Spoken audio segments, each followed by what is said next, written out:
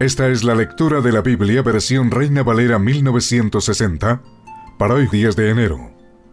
Génesis capítulo 30.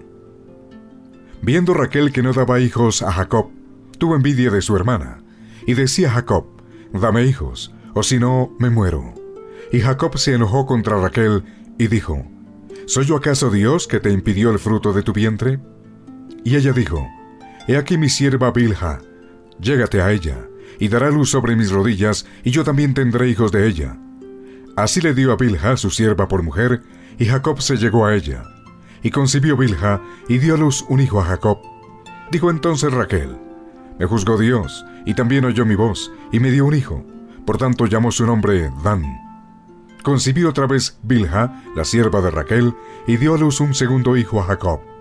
Y dijo Raquel, Con luchas de Dios he contendido con mi hermana, y he vencido y llamó su nombre Neftalí.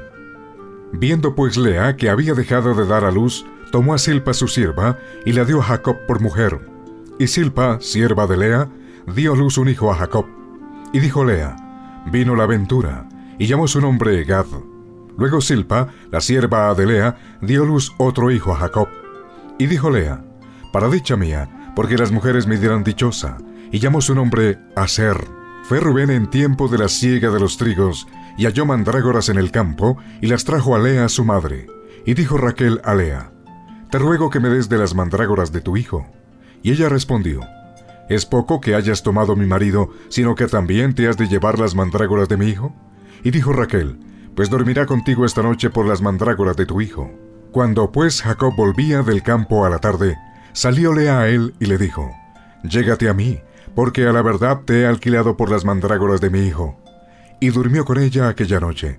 Y oyó Dios a Lea, y concibió, y dio a luz el quinto hijo a Jacob. Y dijo Lea, Dios me ha dado mi recompensa, por cuanto di mi sierva a mi marido. Por eso llamó su nombre Isaacar. Después concibió Lea otra vez, y dio a luz el sexto hijo a Jacob. Y dijo Lea, Dios me ha dado una buena dote, ahora morará conmigo mi marido, porque le he dado a luz seis hijos, y llamó su nombre Zabulón. Después dio a luz una hija, y llamó su nombre Dina. Y se acordó Dios de Raquel, y la oyó Dios, y le concedió hijos. Y concibió, y dio a luz un hijo, y dijo, Dios ha quitado mi afrenta. Y llamó su nombre José, diciendo, Añádame Jehová otro hijo. Aconteció cuando Raquel hubo dado a luz a José, que Jacob dijo a Labán, Envíame, e iré a mi lugar y a mi tierra. Dame mis mujeres y mis hijos, por las cuales he servido contigo, y déjame ir, pues tú sabes los servicios que te he hecho. Y Labán le respondió, Halle yo ahora gracia en tus ojos, y quédate. He experimentado que Jehová me ha bendecido por tu causa.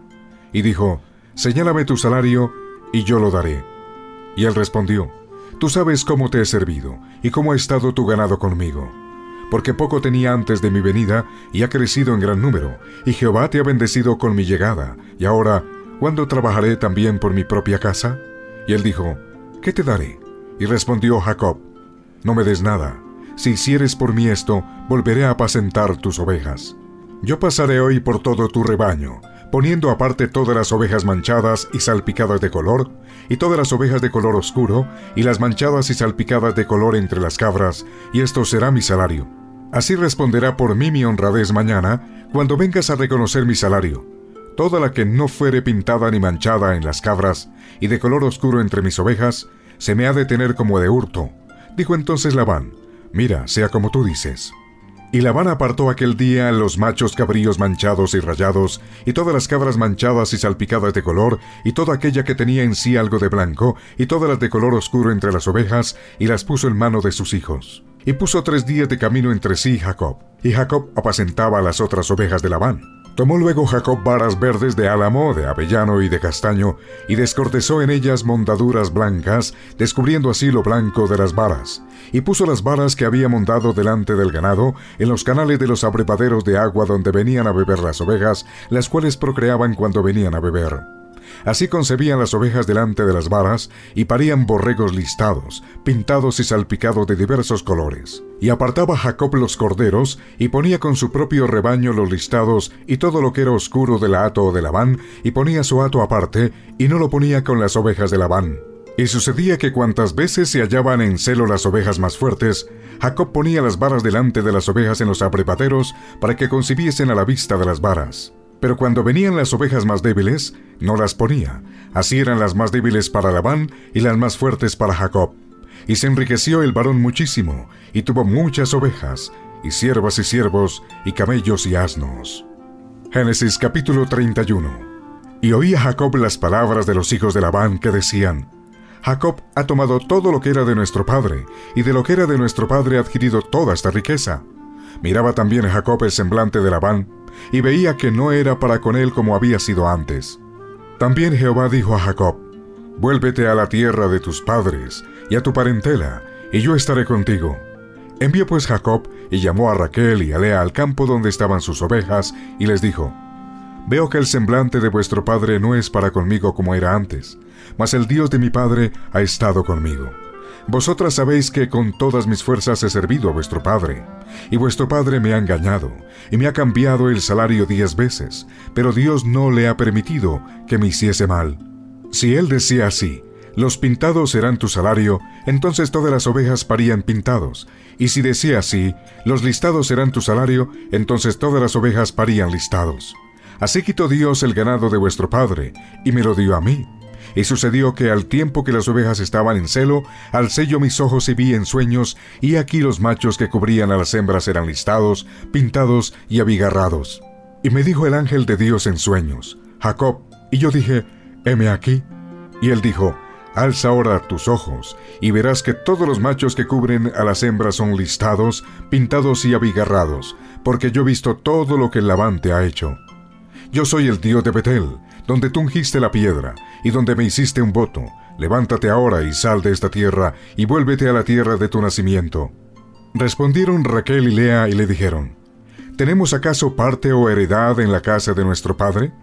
¿No nos tiene ya como por extrañas, pues que nos vendió y aún se ha comido del todo nuestro precio? Porque toda la riqueza que Dios ha quitado a nuestro Padre, nuestra es y de nuestros hijos. Ahora pues, haz todo lo que Dios te ha dicho.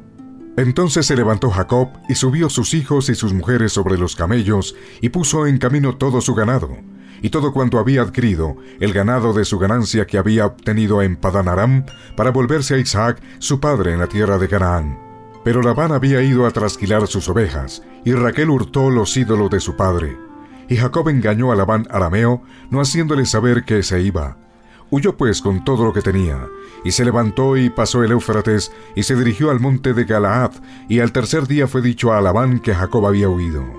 Entonces Labán tomó a sus parientes consigo, y fue tras Jacob camino de siete días, y le alcanzó en el monte de Galaad. Y vino Dios a Labán arameo en sueños aquella noche, y le dijo, Guárdate que no hables a Jacob descomedidamente. Alcanzó pues Labán a Jacob, y éste había fijado su tienda en el monte, y Labán acampó con sus parientes en el monte de Galaad. Y dijo Labán a Jacob, ¿Qué has hecho que me engañaste y has traído a mis hijas como prisioneras de guerra? ¿Por qué te escondiste para huir y me engañaste y no me lo hiciste saber para que yo te despidiera con alegría y con cantares, con tamborín y arpa? Pues ni aún me dejaste besar a mis hijos y mis hijas, ahora locamente has hecho. Poder hay en mi mano para haceros mal, mas el Dios de tu padre me habló anoche diciendo, Guárdate que no hables a Jacob descomedidamente. Y ya que te ibas porque tenías deseo de la casa de tu padre, ¿por qué me hurtaste mis dioses? Respondió Jacob y le dijo a Labán, Porque tuve miedo, pues pensé que quizá me quitarías por fuerza tus hijas. Aquel en cuyo poder hallares tus dioses, no viva. Delante de nuestros hermanos reconoce lo que yo tenga tuyo y llévatelo. Jacob no sabía que Raquel los había hurtado. Entró Labán en la tienda de Jacob, en la tienda de Lea y en la tienda de las dos siervas, y no los halló y salió de la tienda de Lea y entró en la tienda de Raquel. Pero tomó Raquel los ídolos y los puso en una albarda de un camello y se sentó sobre ellos, y buscó Labán en toda la tienda y no los halló. Y ella dijo a su padre, No se enoje mi señor, porque no me puedo levantar delante de ti, pues estoy con la costumbre de las mujeres. Y él buscó, pero no halló los ídolos. Entonces Jacob se enojó y riñó con Labán, y respondió Jacob y dijo a Labán, ¿Qué transgresión es la mía? ¿Cuál es mi pecado, para que con tanto ardor hayas venido en mi persecución? Pues que has buscado en todas mis cosas, ¿qué has hallado de todos los enseres de tu casa? Ponlo aquí delante de mis hermanos y de los tuyos, y juzguen entre nosotros. Estos veinte años he estado contigo, tus ovejas y tus cabras nunca abortaron, ni yo comí carnero de tus ovejas. Nunca te traje lo arrebatado por las fieras, yo pagaba el daño, lo hurtado así de día como de noche, a mí me lo cobrabas. De día me consumía el calor y de noche la helada, y el sueño huía de mis ojos. Así he estado veinte años en tu casa, catorce años te serví por tus dos hijas y seis años por tu ganado, y has cambiado mi salario diez veces. Si el Dios de mi padre, Dios de Abraham y temor de Isaac, no estuviera conmigo, de cierto me enviarías ahora con las manos vacías. Pero Dios vio mi aflicción y el trabajo de mis manos y te reprendió anoche. Respondió Labán y dijo a Jacob, las hijas son hijas mías, y los hijos, hijos míos son, y las ovejas son mis ovejas, y todo lo que tú ves es mío. ¿Y qué puedo yo hacer hoy a estas mis hijas o a sus hijos que ellas han dado a luz? Ven pues ahora, y hagamos pacto tú y yo, y sea por testimonio entre nosotros dos. Entonces Jacob tomó una piedra y la levantó por señal. Y dijo Jacob a sus hermanos, Recoged piedras, y tomaron piedras e hicieron un majano, y comieron allí sobre aquel majano. Y lo llamó Labán Hegar Saaduta, y lo llamó Jacob Galaad. Porque Labán dijo, Este majano es testigo hoy entre nosotros dos. Por eso fue llamado su nombre Galaad.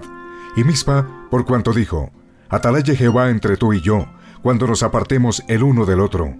Si afligieres a mis hijas, o si tomares otras mujeres además de mis hijas, nadie está con nosotros. Mira, Dios es testigo entre nosotros dos. Dijo más Labán a Jacob, He aquí este majano, y aquí esta señal, que he erigido entre tú y yo. Testigo sea este majano, y testigo sea esta señal, que ni yo pasaré de este majano contra ti, ni tú pasarás de este majano ni de esta señal contra mí para mal el Dios de Abraham y el Dios de Nacor juzgue entre nosotros, el Dios de sus padres. Y Jacob juró por aquel a quien temía Isaac su padre. Entonces Jacob inmoló víctimas en el monte, y llamó a sus hermanos a comer pan, y comieron pan, y durmieron aquella noche en el monte. Y se levantó Labán de mañana, y besó a sus hijos y sus hijas, y los bendijo, y regresó y se volvió a su lugar. Génesis capítulo 32 Jacob siguió su camino, y le salieron al encuentro ángeles de Dios. Y dijo Jacob cuando los vio, Campamento de Dios es este. Y llamó el nombre de aquel lugar Maanaim. Y envió Jacob mensajeros delante de sí a Esaú su hermano, a la tierra de Seir, campo de Edom. Y les mandó diciendo, Así diréis a mi señor Esaú, así dice tu siervo Jacob, con Labán he morado, y me he detenido hasta ahora. Y tengo vacas, asnos, ovejas, y siervos y siervas, y envío a decirlo a mi señor para hallar gracia en tus ojos. Y los mensajeros volvieron a Jacob diciendo, Vinimos a tu hermano Esaú, y él también viene a recibirte, y cuatrocientos hombres con él. Entonces Jacob tuvo gran temor y se angustió, y distribuyó el pueblo que tenía consigo, y las ovejas y las vacas y los camellos en dos campamentos. Y dijo, Si viene Esaú contra un campamento y lo ataca, el otro campamento escapará. Y dijo Jacob, Dios de mi padre Abraham, y Dios de mi padre Isaac, Jehová, que me dijiste, vuélvete a tu tierra y a tu parentela, y yo te haré bien. Menor soy que todas las misericordias y que toda la verdad que has usado para con tu siervo, pues con mi callado pasé este Jordán y ahora estoy sobre dos campamentos. Líbrame ahora de la mano de mi hermano, de la mano de Saúl, porque le temo, no venga acaso y me hiera la madre con los hijos. Y tú has dicho, yo te haré bien, y tu descendencia será como la arena del mar, que no se puede contar por la multitud.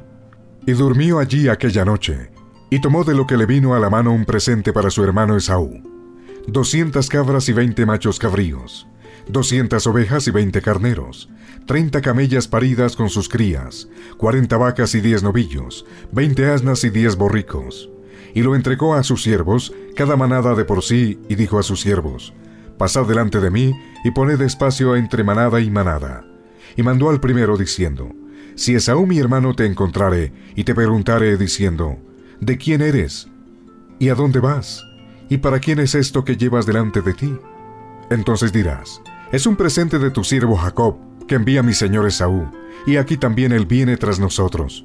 Mandó también al segundo, y al tercero, y a todos los que iban tras aquellas manadas, diciendo, conforme a esto hablaréis a Esaú cuando le hallareis. Y diréis también, He aquí tu siervo Jacob viene tras nosotros, porque dijo, apaciguaré su ira con el presente que va delante de mí, y después veré su rostro, quizá le seré acepto.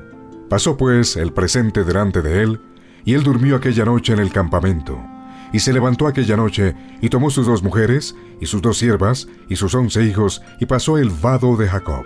Los tomó pues, e hizo pasar el arroyo a ellos y a todo lo que tenía. Así se quedó Jacob solo, y luchó con él un varón hasta que rayaba el alba.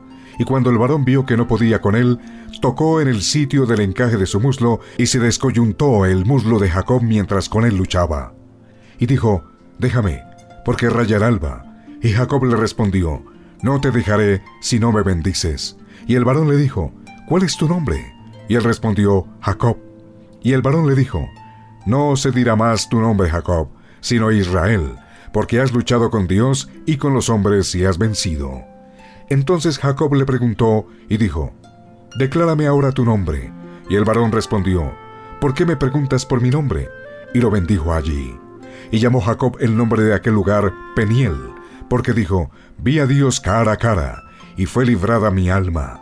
Y cuando había pasado Peniel, le salió el sol y cojeaba de su cadera. Por esto no comen los hijos de Israel hasta hoy día del tendón que se contrajo, el cual está en el encaje del muslo, porque tocó a Jacob este sitio de su muslo en el tendón que se contrajo.